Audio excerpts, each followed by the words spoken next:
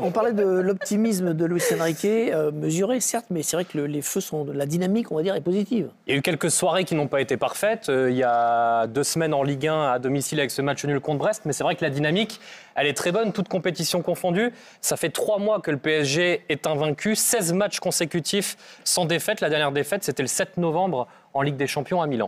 Hier soir, Dembélé a marqué des points. Barcola, qui a pourtant joué peu, euh, a marqué des points également. Euh, Est-ce que, on va voir la, la composition euh, probable, possible et probable face à la Real Sociedad, est-ce qu'on se dirige vers un trio d'attaque Dembélé, Mbappé, Oh. Barcola Ouais, Euh, Est-ce que pour vous, c'est une évidence? Ouais, Ah oui. aucun, au- au- aucun doute.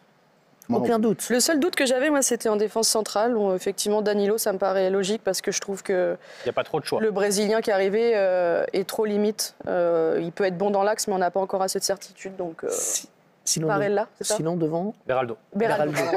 Barella. Barella est à l'Inter de Milan. Barella. Sinon devant, euh, Samir, ouais, ces, ces trois-là, euh, ça.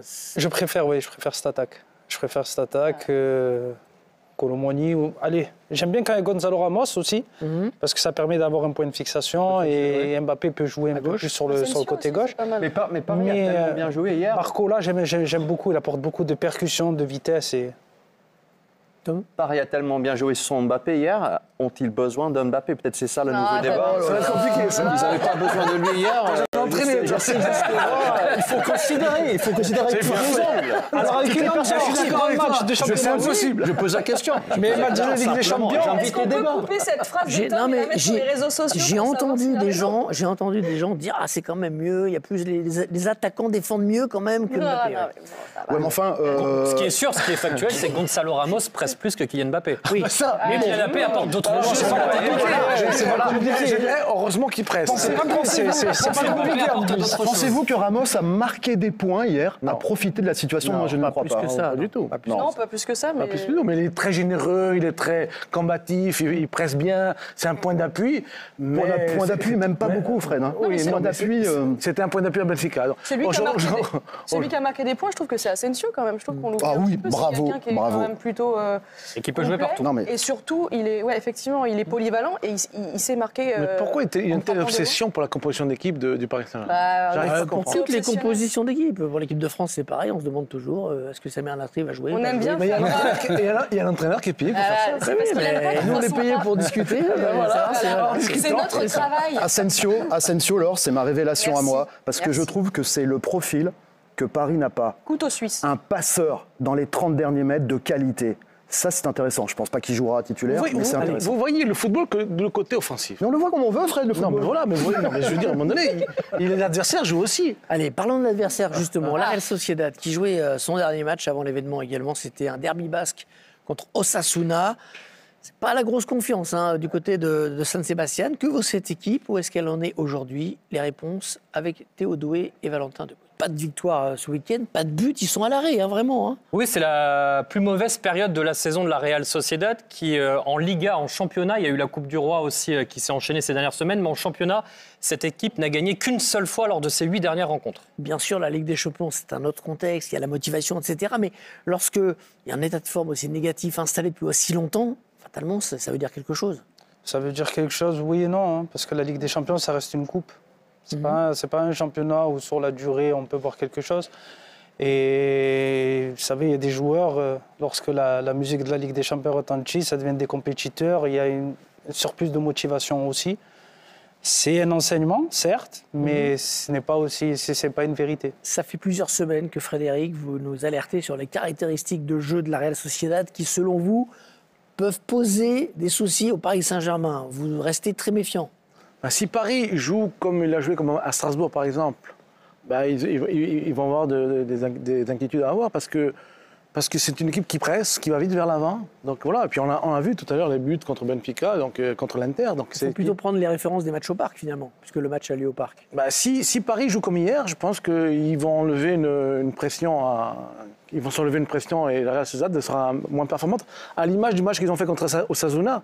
Osasuna n'a pas joué, ils ont joué premier, deuxième ballon et ça, les a, ça leur a enlevé une partie de leur, de leur potentiel. Ils avaient beaucoup fait tourner hier euh, la Real Sociedad, euh, comme le PSG. Il y a beaucoup de, de titulaires, le Normand notamment, qui était sur le banc. Il y a toujours beaucoup d'absents également euh, dans cette équipe, mais il avait aussi fait tourner en prévision du match de mercredi. Ce qui est sûr, c'est qu'il va, il va pas falloir qu'il s'amuse à faire un peu comme, euh, à Newcastle à vouloir euh, parfois relancer euh, court, coûte que coûte, euh, même quand parfois tu, tu le sens pas. Ça leur a coûté très cher, je, pense. Et surtout, euh, ils ont encore montré hier, oui, ils ont fait un bon match, mais ils montrent aussi qu'en en attaque rapide, ils sont très bons. Donc euh, j'espère qu'ils vont réussir à trouver cet équilibre et pas hésiter à sauter une ligne quand ça va être nécessaire. Surtout qu'ils ont une force de, de pressing qui est très bonne aussi. Euh, je suis plus, ce que je voulais juste dire, c'est que du coup, je me suis mis en mode observatrice Real Sociedad là, ces derniers temps. Donc je me suis dit, bon, allez, je regarde. Mais j'ai pas sauté au plafond, quoi. Enfin, J'ai trouvé que c'était une équipe technique. On vous en demande pas tant, hein, alors. Non, mais non, mais en fait, en fait, il y a C'est tellement. Non, mais il y a tellement de pression autour de cette Ligue des Champions, comme dit euh, Luis Enrique. On a- J'avais l'impression, je, je me suis dit, je vais, je vais voir la Real Sociedad, je vais, je vais faire Oh, waouh. Mais oui, c'est une bonne équipe, mais je, je pense que si le PS. Il y a beaucoup de blessés. Tu, les as ça. justement. Ok. Il y a beaucoup d'absents. Puisqu'on parle des blessés, Oyarzabal, capitaine emblématique. Oyarzabal, euh, Becker. Moi, j'aime beaucoup. Becker. Il a, il a- des chances d'être là ou pas? Capitaine, meilleur buteur, il n'était pas à l'entraînement aujourd'hui. Et hier soir, après euh, la défaite, Emmanuel Alguacil, l'entraîneur, il était quand même très pessimiste. Alors peut-être qu'il sera dans le groupe euh, mercredi pour accompagner ses coéquipiers, mais sur la pelouse, euh, visiblement, il n'y a pas de grande chance de le voir face au PSG. Ce sera une grande perte hein, pour, pour la. Real Sociedad. On y est presque, les amis. On y est presque dans ce match attendu entre le PSG et la Real Sociedad, les amis. Mais avant de commencer, si tu me découvres à travers cette vidéo, ici on parle de foot. Ici, nous, on est passionné par le foot. Le foot, c'est notre passion. Donc, si tu es intéressé par la thématique, et surtout, si tu es sûr de contenu, n'hésite pas de t'abonner, d'activer la cloche de notification pour ne rien manquer des prochaines vidéos qui vont arriver sur la chaîne. C'est on est parti. Alors, on est presque, les gars. On est presque dans ce fameux match. Ce match qui est tellement attendu entre ce PSG de Lucien Riquet, ce PSG New Look et la Real Sociedad. Déjà, les amis, c'est le match de la saison du PSG. C'est le match de la saison du PSG. Le PSG n'a pas droit à l'erreur. Le PSG ne doit pas se planter dans ce match. Surtout, on joue au Parc des Princes, on joue à domicile, le PSG joue à domicile. Le PSG joue à domicile. Le PSG joue à domicile. On connaît l'importance de jouer un match à domicile en RDC. Ils doivent absolument battre la Real Sociedad. Ils doivent absolument battre cette équipe de la Real Sociedad, les amis. Cette équipe, pour moi, c'est largement à la portée du PSG. Certes, ils sont sortis premiers de leur poule en LDC, mais, mais, c'était au mois de décembre. C'était au mois de décembre. Et actuellement, la Real Sociedad, ils sont moins bien. Ils sont moins bien, les gars. Ils viennent de perdre face à Osasuna à domicile. Je rappelle que la Real Sociedad jouait à domicile. Ils ont perdu chez eux face à Osasuna. Un but à zéro. Un but à zéro, les gars, ça signifie qu'il y a de la place. Il y a de la place. Il y a de la place, les gars. Ce PSG doit largement battre la Real Sociedad. La Real Sociedad, ce n'est pas une équipe de fous furieux. Ce n'est pas une foudre de guerre. Ce n'est pas une foudre de guerre. C'est une équipe qui concède beaucoup de buts. C'est à moins un but encaissé par match. C'est une équipe, certes, ça produit du jeu, mais c'est une équipe qui gâche beaucoup d'occasions devant le but.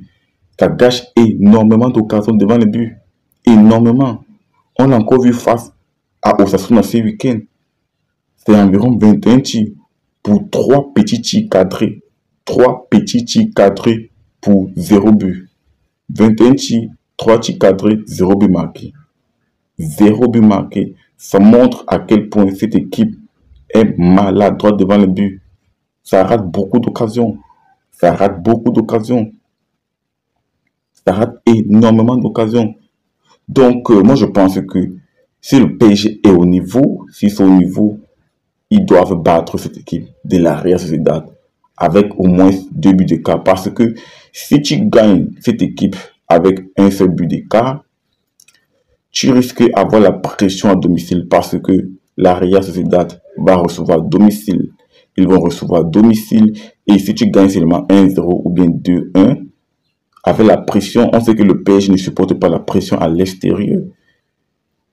Le PSG risque de craquer s'il n'emballe pas le match au match aller. Ils doivent emballer le match au match aller environ 2-0, si possible 3. Ils ont les armes. Parce que le tu as tu as Ousmane Dembélé, tu as Barcola, tu as les Zain Emery. C'est des jeux de qualité. Des jeux de qualité. Donc, euh, ce PSG-là, ils ont les armes pour battre la Real Sociedad. Ils ont vraiment les armes, les amis. Après, est-ce que Kylian Mbappé sera là? Parce qu'il n'a pas joué le dernier match en championnat face à Lille, il n'a pas joué. À mon avis, sera là. Le PSG l'a préservé parce qu'on savait qu'il y avait vraiment un match très important face à la Real. Donc, à mon avis, il sera là. Pas d'inquiétude. Il y aura bien le Kiki. Il sera titulaire. Donc, moi, je pense que Lucien Enrique va mettre Ousmane Dembélé. Ousmane Dembélé qui est vraiment en forme.